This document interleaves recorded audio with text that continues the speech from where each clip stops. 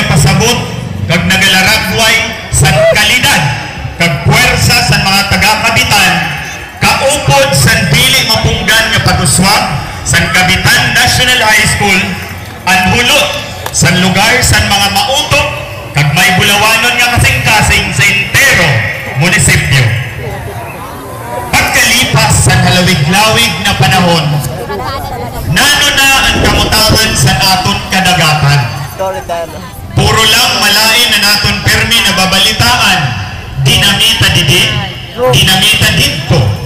Amo lang permi na naton nagkabaratian.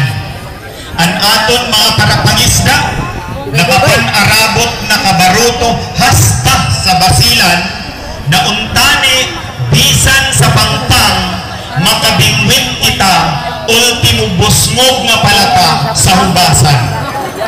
Na hitsura sa mga daragpo na isda ang aton ipakita sa aton mga kabataan. Kung ultimo panday buto, dili ta isalbar sa kadagatan. Lantaon ta ang pangpang sa aton pinalangga na banwa.